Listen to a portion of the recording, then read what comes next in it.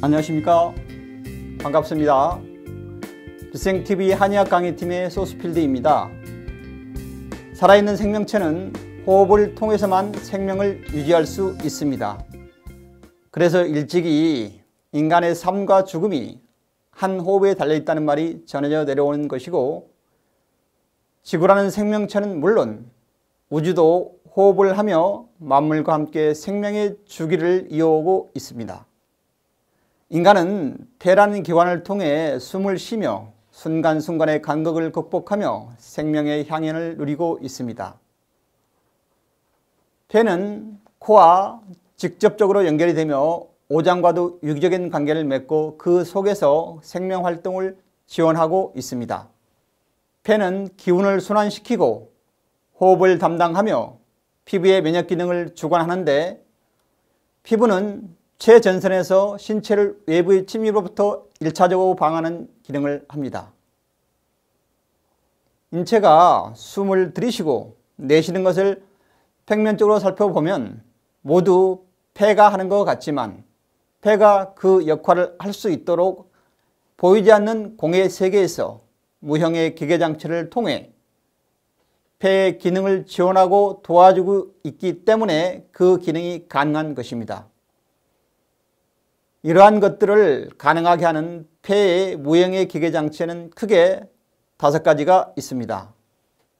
첫째, 호흡을 조절하는 횡격막을 움직이는 무형의 기계장치가 있는데 들숨과 날숨의 깊이를 조절합니다. 둘째, 피부를 보호하고 면역력을 조절하는 위기조절 장치는 위기의 순환을 담당합니다. 셋째, 땅구멍을 열고 닫는 무형의 기계장치는 땀의 배출을 통해 한열을 조절하고 너무 많은 전기가 새어나가지 못하도록 전기를 보호하는 역할을 합니다. 넷째, 진액의 순환을 담당하는 무형의 기계장치가 있는데 만일 이 기능에 이상이 생기면 난치병으로 불리는 아토피, 피부염 같은 문제를 일으키게 됩니다. 다섯째, 페포라 불리는 허파과의 기능을 도와주는 무형의 기계장치가 있습니다. 이것은 외부에서 들어온 공기를 정화하고 유해물질을 걸러내는 필터링 역할을 도와주는 장치입니다.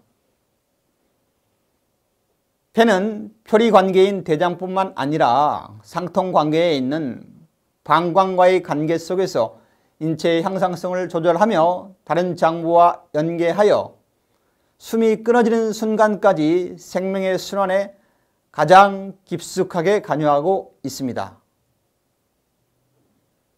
이제부터 폐와 가장 밀접한 관계를 가지고 있는 기침에 대해 살펴보겠습니다.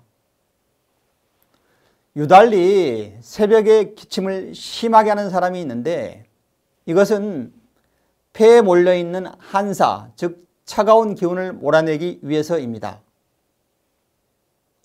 오전에 하는 기침은 위장의 열 때문에 발생하며 오후에 기침을 하는 것은 인체 내에서 순환하는 피와 진액이 부족해서 옵니다. 해질녘에 기침이 심한 것은 폐에 있는 열을 내보내기 위해서입니다. 시도 때도 없이 하는 기침은 전반적으로 폐의 행기 기능이 잘 안 돼서 하는 기침입니다. 호흡은 가슴을 움직이지 않고 복부의 운동 기능에 의해 일어납니다. 호흡이 일어날 때는 폐는 생성된 기를 움직이는 행기 작용을 하고 신장은 기를 생성하는 작용을 하고 비장한 기를 보호해주는 역할을 합니다.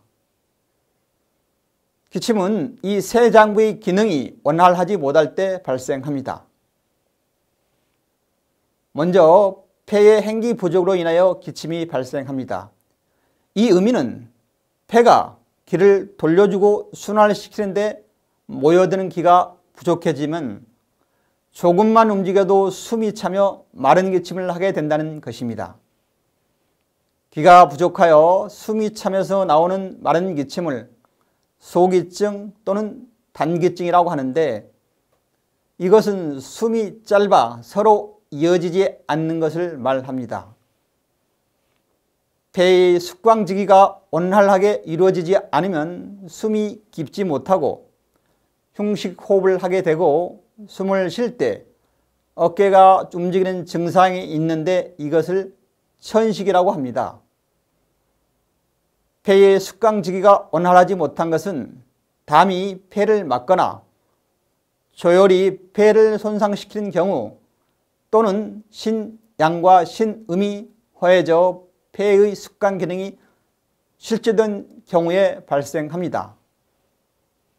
천식은 폐의 기가 부족한 상태에서 폐의 숙강지기가 부족하여 비포장도로를 달리는 트럭이 덜컹거리며 달리는 것처럼 화산이 폭발하듯 기침을 할 때를 말합니다.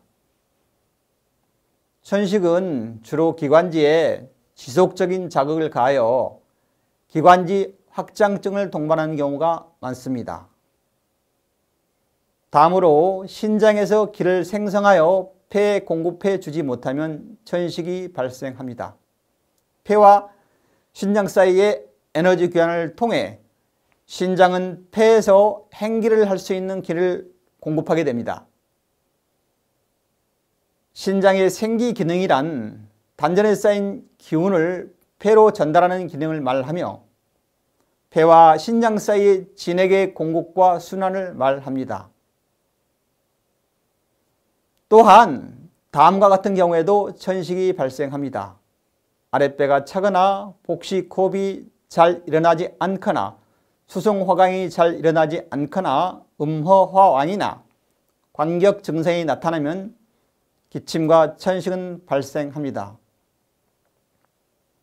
수송화강은 화의 기운이 폐의 기운 밑으로 내려오고 수의 기운은 올라가는데 위쪽을 폐로 놓고 폐와 신장의 에너지 교환과 더불어 진액의 교환까지를 포함한 에너지 순환을 말합니다. 마지막으로 비장에서 운하 기능이 잘 안되면 기침이 발생합니다. 비장의 운하 기능이 잘 안되면 소화 기능에 문제가 생기고 담음이 발생하게 되어 호흡이 짧아지게 됩니다. 비장과 폐 사이에 에너지 교환이 원활하게 이루어지지 못하면 폐에서 행기할 수 있는 기가 부족하게 되어 기침이 나고 천식 기침을 하게 됩니다. 비장과 폐 사이에서 습이 조절되는데 이 과정에서 습이 많아지면 습담으로 인해 가래를 배출하는 기침을 하게 됩니다. 비장의 운하 기능을 건이라 하고 위장의 하기 기능을 화라고 하는데 기침은 비위의 기능이 좋지 않으면 운화 기능과 하기 기능에 문제가 생겨 담음이나 매핵기 증상을 동반한 가래를 동반한 기침을 하게 됩니다. 비장에서 폐로 습이 올라갈 때 심장이 습을 조절해 주어야 하는데 이 기능에 문제가 생기면 습담을 동반한 기침이 나옵니다. 열을 동반하는 기침은 전문의의 치료를 받아야 합니다. 열을 동반하지 않는 기침은 주로 섭생의 잘못으로 인해 발생합니다. 일상생활에서 기침을 예방하는 가장 좋은 방법은 아랫배를 따뜻하게 하는 것입니다. 아랫배가 따뜻해야 수승화강이 원활하게 이루어지며 폐와 신장의 에너지 순환이 잘 이루어져 진액이 보조하지 않게 되며 기의 생성이 원활하게 이루어질 수 있습니다. 아랫배가 따뜻해야 소화 기능이 정상적으로 작동이 되며 비장의 운화 기능과 위장의 하기 기능이 잘 이루어져 기침을 예방할 수 있습니다. 아랫배가 따뜻해야 3초 기능이 살아나면서 복식호흡이 잘 이루어지게 되고 단전에 기가 축기가 되면서 기 부족으로 인한 천식을 예방할 수 있습니다. 딸꾹질은 위가 차고 폐에 열이 있을 때 나타납니다. 위가 차가워져 있다는 것은 위가 음식물을 받아들일 준비가 안 되어 있으니 잠시 기다려달라는 응급신호입니다. 딸꾹질은 하기가 원활해지지 않을 때 발생합니다. 하기가 이루어지는 원리는 위장의 운동으로 인해 발생하는데 위장의 기능이 약해져 있어 하기가 원활하게 이루어지지 않을 때 소화 기능이 떨어지게 되면 이때 딸꾹질이 발생합니다. 폐에 열이 있을 때 발생하는 딸꾹질의 기전은 다음과 같습니다.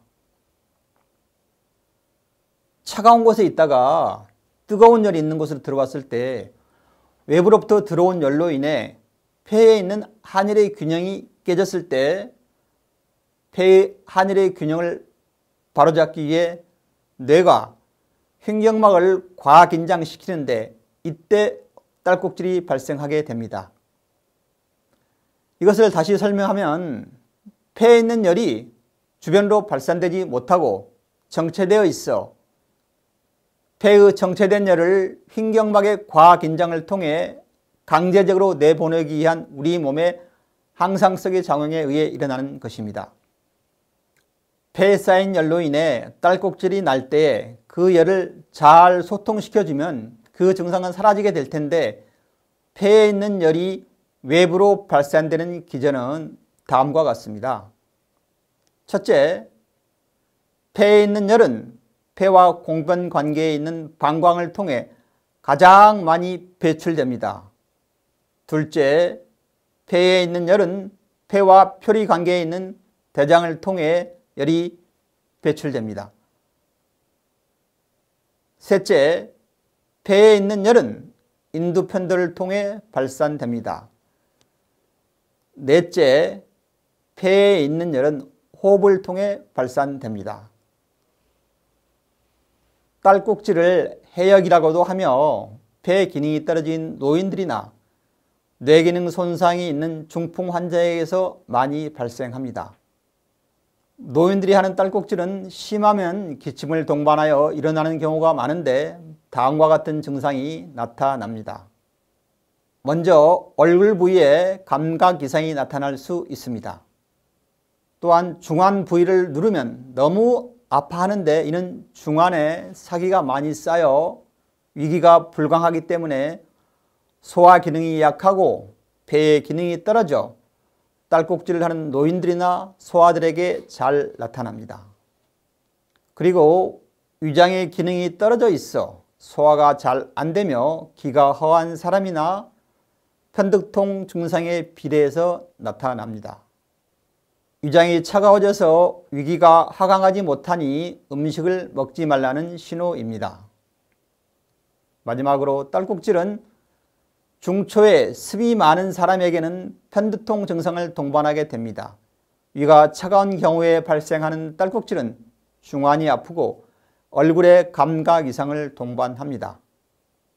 결국 딸꾹질은 위가 차고 폐에 있는 열이 정체되어 있을 때 위와 폐의 하늘의 균형을 바로잡기 위해 폐와 뇌세포 사이에서 항상성을 유지하기 위해 약속된 시그널입니다. 딸꾹질이 일어나면 음식을 섭취하기가 매우 어려운데 억지로 먹는 것을 삼가하고 폐에 있는 열이 호흡을 통해서 잘 발산될 수 있도록 심호흡을 하는 것이 중요합니다. 강의를 마무리하겠습니다. 숨을 제대로 쉬지 못하는 고통과 두려움은 당하는 당사자가 아니면 상상하기 어려운 공포를 가져옵니다. 우리가 평소에는 몰랐던 숨의 고마움과 가치를 다시 발견하게 됩니다. 위에서 살펴보았듯이 기침은 단순하게 폐의 문제로 인해 발생하는 것이 아닙니다. 폐와 신장, 위장과 비장, 그리고 심장까지 관련된 오장의 조화와 균형이 깨졌을 때 기침과 천식, 딸꾹질이라는 형태로 드러난 것뿐이라는 것을 다시 한번 생각해 보시기 바랍니다. 평소에 자신의 몸을 아끼고 사랑해 주시길 바라며 전문적이고 체계적인 미래의학에 대한 관심이 있는 분은 아래 번호로 연락 주시기 바랍니다. 감사합니다.